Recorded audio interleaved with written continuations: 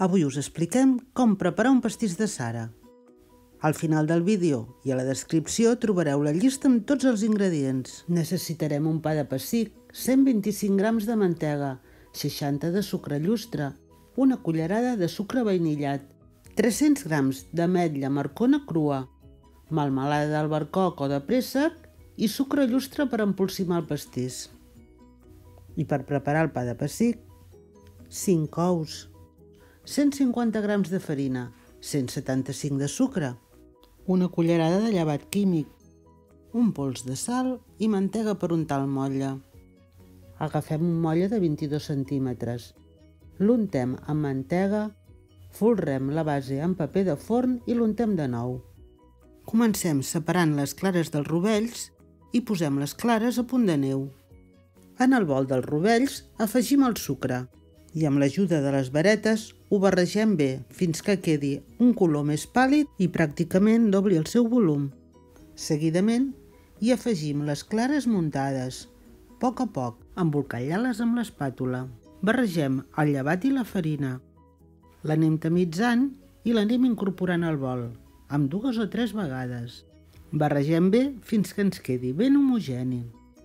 Al forn ja el tindrem preescalfat a 170 graus Aboquem la massa al motlle i enfornem durant 25 minuts. Cada forn és diferent. A partir d'aquest temps tenim que comprovar i fer la prova de l'escuradents. Quan surti net, parem el forn i el deixem 10 minuts sense obrir la porta i després 5 minuts més amb la porta una mica oberta. Quan s'hagi refredat una mica, desemmotllem i el deixem refredar sobre la reixeta. Ja tenim el pa de pessic. Ara anem a preparar la cobertura. Escalfem el forn a 180 graus i torrem les ametlles. Les enfornem uns 12 minuts. Les remenem i les deixem un parell de minuts més. La millor opció és observar el color i tastar-les. Un cop fetes, les traiem del forn, les deixem refredar i les piquem amb un ganivet. També ho podem fer amb el corró. No hem de, no hem de fer trossos massa petits. Només trencar-les una mica. En un bol Barregem els 125 grams de mantega pomada amb el sucre llustre i el sucre vainillat. Ho treballem amb les varetes fins que ens quedi tot ben incorporat. Ara ja podem muntar la sara. Tallem el pa de pessic amb dos o tres parts i escampem la melmelada.